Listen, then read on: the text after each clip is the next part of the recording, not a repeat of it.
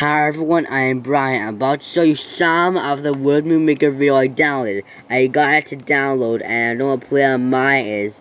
Made in 2002. I installed from the Wayback Machine.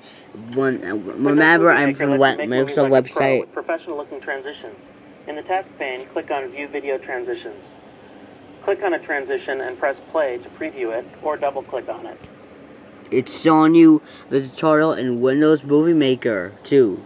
Once you've selected the transitions that you like, drag them onto the storyboard in between the clips. Now let's go some of it. The Scott Family Town Show.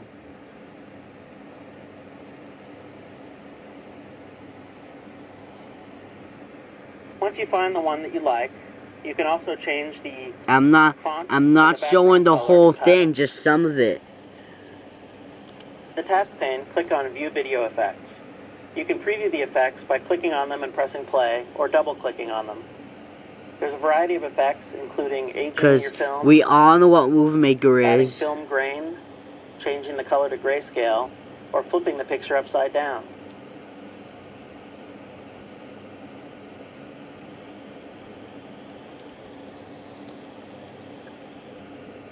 This is it running on Wisme Pro 11.